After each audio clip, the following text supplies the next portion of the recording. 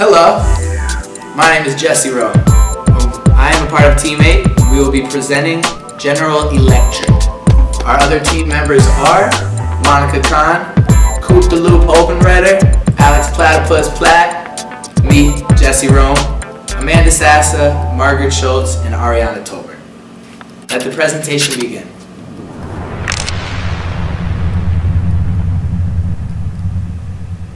Well, hello.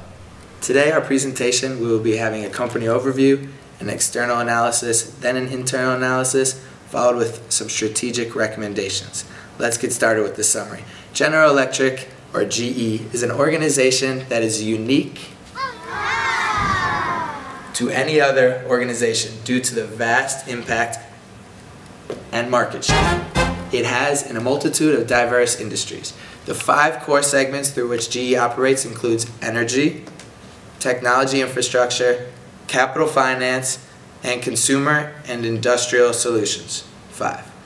Within these core segments, GE operates under various subdivisions that focus on specific industries, commercial financing, aviation, home, business appliances, healthcare, and oil and gas, just to name a few. These components, coupled with determination, allow GE to define and accomplish their mission. GE aims to build, cure, move, and power the world. General Electric was formed in 1892 after a merger of two companies, Edison General Electric Company of Schenectady. The first of the two companies was started by Thomas Edison, the great man himself. Since 1892, General Electric has made additional acquisitions and has purchased stakes in a number of other companies. One of the most famous acquisitions was actually the purchase of NBC in 2004. GE merged with NBC and Vivendi's Universal Entertainment to form NBC Universal. The contract resulted in GE having an 80% ownership until 2011 when Comcast obtained a 51% share, leaving GE with 49%. Jeffrey Immelt is currently GE's chair, CEO and chairman and has held this position since September 2001. Immelt is a businessman who truly understands GE's strategic fit and effectively implements its corporate strategy. One minute. On GE's company website, Immelt is quoted about the strategic fit of the company. He also has been named one of the world's best CEOs three times by Barron's. By Barron's.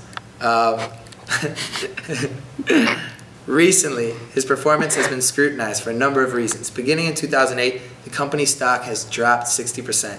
21 plants have closed, and around 19,000 employees have been laid off. However, in 2012, Fortune magazine ranked GE the sixth largest firm in the annual list of 500 largest companies in the United States, as well as ranking it the 14th, 14th most profitable. Profitable. Sorry about that. In addition to Mr. Immelt, there are 191 senior executives who serve as growth leaders at the head of the numerous GE sectors of 2001. The past year, GE has seen a constant stock pricing at about $25, indicating both stability and the possibility for growth. Now I will move on to our internal, external analysis.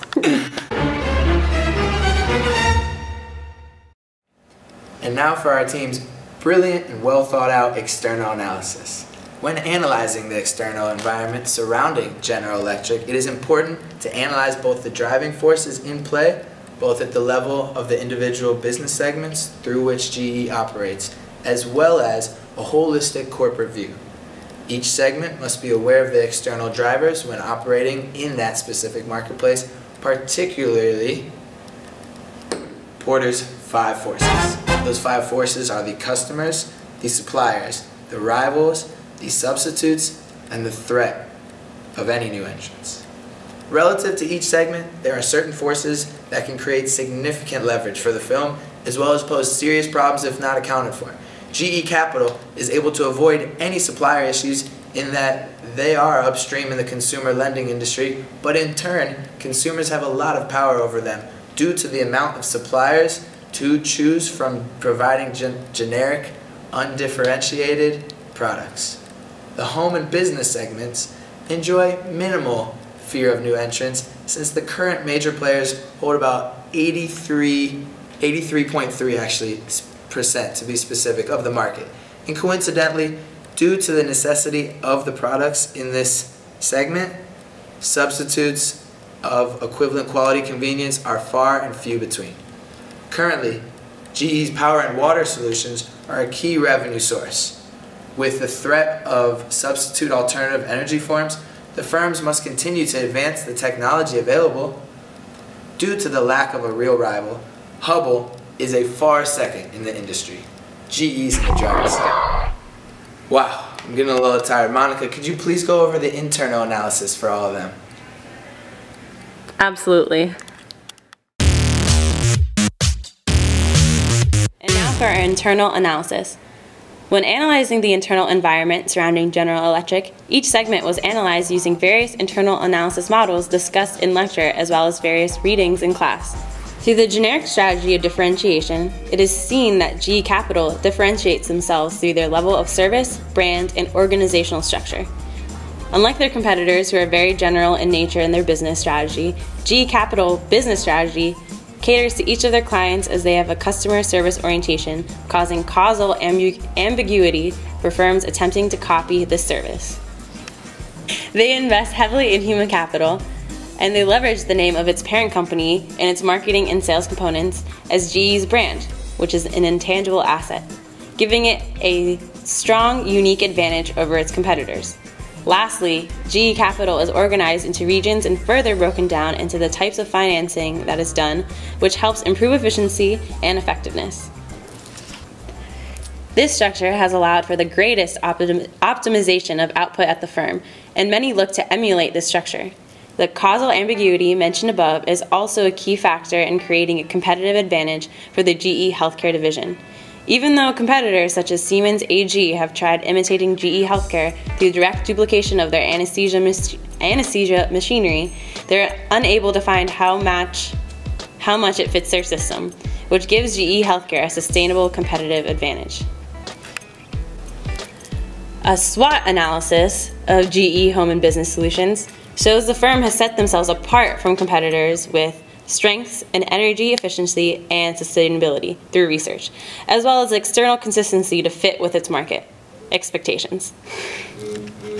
The ability to obtain materials at a lower cost than its competitors allows a company to either lower the price of its goods or services, giving it a price advantage, or increase in its prof profitability by maintaining higher margins. This advantage is also seen in the GE Aviation division, which benefits from economies of scale as well as a number of other advantages. The innovations that come out of its R&D department, such as the technology behind the GE90 turbofan engine, are used to create industry-leading products and are key in creating a competitive advantage for the aviation division. Although GE Aviation differenti differentiates itself from the competition with its innovative technologies and industry-leading products, it has room to diversify its product line into cap line to capture a larger portion of the market and further improve its position in the industry. Thank you guys for listening to the internal analysis. Wow. Thanks, Mon, for telling everybody the internal analysis. Now it's time for the recommendations, though. Sorry, you gotta go. No! Ouch.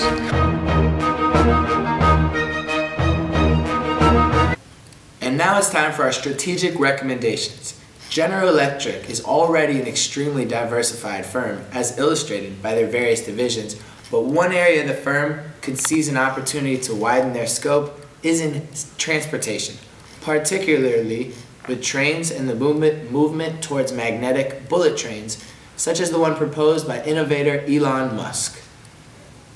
To that same effect, we actually recommend that General Electric acquire the Tesla company founded by Mr. Musk, as the startup is making great strides in electronic transportation and has core competencies that would be very beneficial to General Electric. It is paramount that the firm continue their efforts to remain environmentally friendly in all the business segments as well as maintain the customer service orientation that has been so dang successful in the past. We recommend that GE Home Appliances looks to form a strategic alliance alliance with Michigan-based competitor Whirlpool.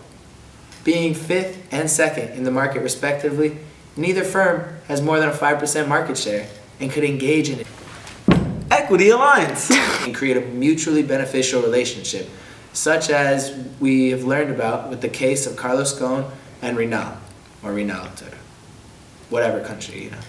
Before making this merger, top management would have to access the fit of the cultures at both corporations to avoid internal, internal conflict within the alliance. The most logical divestment would be selling the selling of their mildly profitable gas range businesses in home and appliances, which was a strategic maneuver explored by GE in 2008. Now, to continue the successful precedent GE has created with that.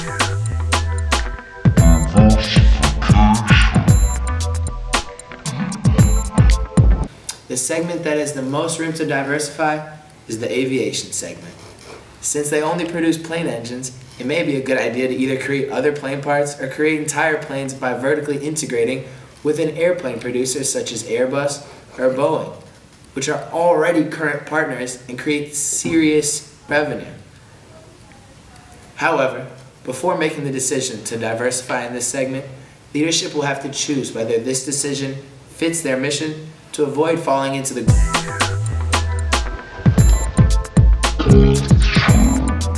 as we saw happen to JetBlue when they took on too much. All these recommendations that we're suggesting would aim to raise their stock price, which can also be viewed right behind me. At GE, we put our ideas to work. We make things that matter, things that make life better engineers, scientists, builders, leaders, all doers and problem solvers, all sharing a belief in a better way. It's why we come to work every day. The tough challenges, the tough asks, the impossible reach. We are on it, already asking, what's next? We put our ideas to work, making the world work better. GE works, moving, powering, building, curing the world, financing businesses, and helping consumers build their financial futures, delivering earnings growth and increased shareholder value. We are investing in superior technology, developing advanced manufacturing skills, applying intelligent software to make things work better, establishing our leadership in growth markets, with the financial resources to manage risk and invest from a position of strength and a commitment to deliver the innovation the world needs. We don't just imagine a cleaner, more productive world, we power it. We don't just dream of a world that travels quicker, safer, and more efficiently. We move it. We don't just see a world where too many people lack access to the health care they need. We cure it. At GE, we put our ideas to work. Not just imagining, doing. GE works. All of us from Team 8 wanted to say thank you for listening to our presentation on General Electric. It was truly a pleasure.